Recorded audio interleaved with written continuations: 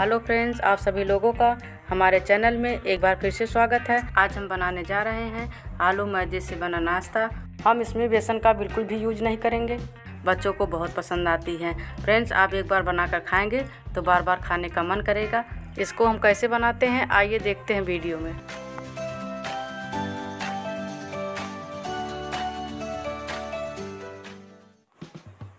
हम 300 ग्राम मैदा लिए हैं। इसमें थोड़ा सा नमक, दो बड़े चम्मच रिफाइंड डालकर एक चुटकी अजवाइन को मिलाकर मिक्स करेंगे। नॉर्मल पानी के साथ एक डो तैयार कर लेंगे। जैसे आप आटा गूँथते हैं, उसी तरह से हम एक डो तैयार करके पाँच मिनट के लिए रेस्ट पर रख देंगे।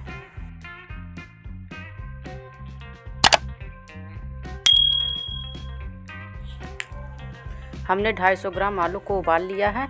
अब आलू को हम रोस्ट करेंगे। अब आलू रोस्ट हो चुका है। तड़के के लिए हम छः सात कली लहसुन, तीन हरी मिर्च, एक इंच अदरक का टुकड़ा, एक छोटा प्याज को डालकर हम तड़का लगाएँगे।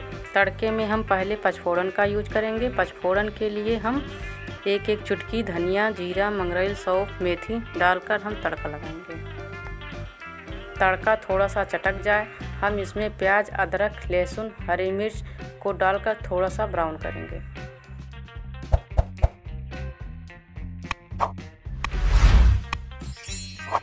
तड़का ब्राउन हो चुका है। अब हम इसमें रोस्ट किए हुए आलू को धीमी आँच पर दो से तीन मिनट तक भूनेंगे। फ्रेंड्स, बारिश का सीज़न आ गया है। इस मौसम में पकौड़े खाने का आनंद ही कुछ और है। आप भी हमारी इस रेसिपी को आजमाएँ और बारिश का आनंद लें। ये भुन चुका है। अब इसका रोल तैयार करेंगे।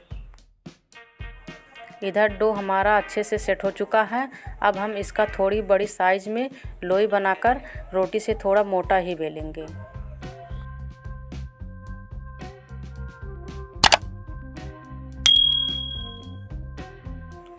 अब फ्राई किए हुए आलू को इस पर हम फैलाकर इसका रोल तैयार करेंगे।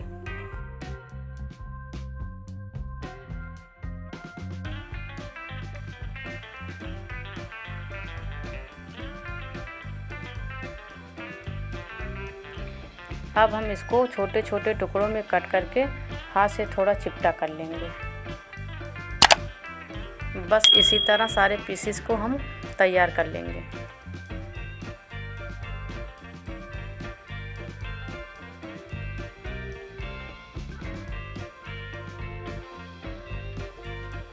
हमने मैदे का गाढ़ा घोल तैयार कर लिया है। अब सारे पीसेज में घोल को लगाकर तेल में अच्छे से फ्राई करेंगे। फ्रेंड्स, इसको तलने के लिए आप चाहे तो रिफाइन का भी यूज़ कर सकते हैं। इसको हम कम फ्लेम पर धीरे धीरे फ्राई करेंगे ताकि हमारा पकौड़ा क्रिस्पी बने। फ्रेंड्स, अब हमारे पकौड़े बनकर तैयार हैं। आप भी घर पर ज़रूर बनाएँ। इस रेसिपी को दोस्तों में शेयर करें।